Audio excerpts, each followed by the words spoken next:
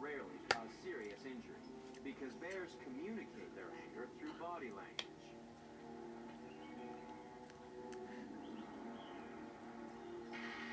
Humans can also keep out of trouble if they can read bear behavior. A bear that looks at you directly with its ears pinned back is sending a warning that you're too close. It's been estimated that 90% of charges are just a bluff to scare away a potential threat.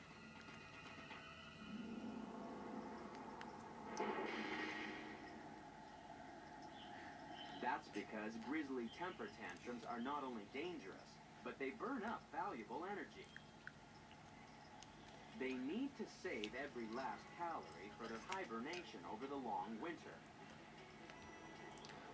That's why bears prevent unnecessary confrontations by leaving scent markings. These bears are actually warning rivals to stay away so that they can be left in peace.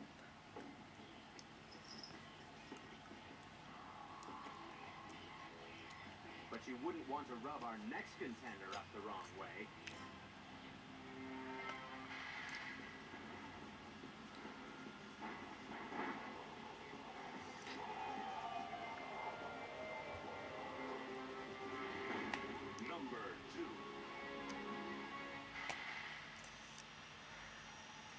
African plain, there are lots of animals it pays not to upset, especially if they've had a bad day out hunting.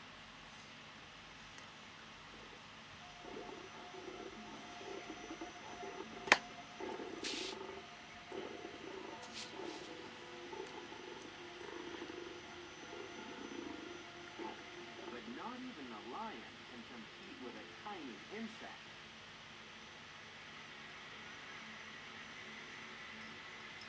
Buzzing in to number two in the countdown are honeybees.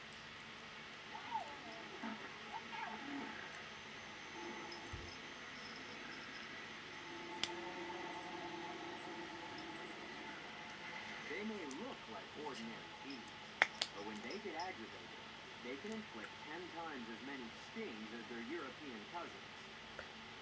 That's because on the plains of Africa, there are many more animals interested in stealing honey. So the bees develop their terrible temper to protect their valuable food source from marauders with a sweet tooth. African bees are also the world's most efficient producers of honey, which is why they were transported to South America. After being accidentally released in 1957, they interbred with their European cousins and became the now infamous killer bees.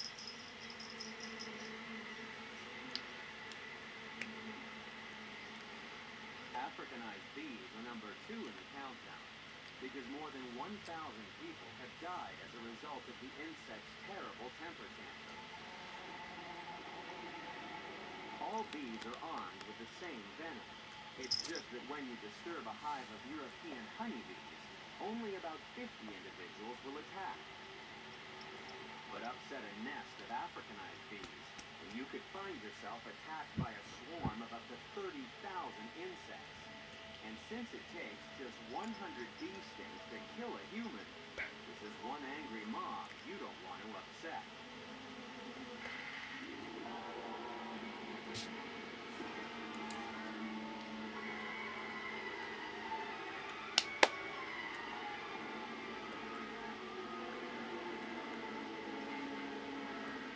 Sometimes a crowd of panic-stricken people can be just as dangerous as a swarm of bees.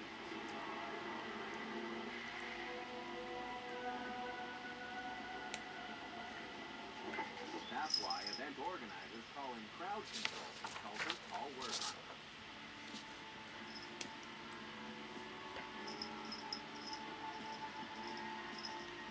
The triggers that can set off crowd disorders and crowd disasters are everywhere at any large event. They can turn a happy event into an angry event and a wonderful time into a disaster. Paul is an expert in what happens when crowds go bad and knows the best way to avoid injury. It's not always possible to escape from a crowd. Once you're trapped in a crowd, your biggest concern is surviving that crowd crush. Eye contact, hand gestures can say a lot. Try to keep your hands up, not by your side. Because once they fall to your side, the pressure will usually be so great that you can't move them anymore. So you move along this way, and you move slowly when there's a pocket. Push your way out, perhaps help somebody next to you, and eventually, hopefully, find freedom.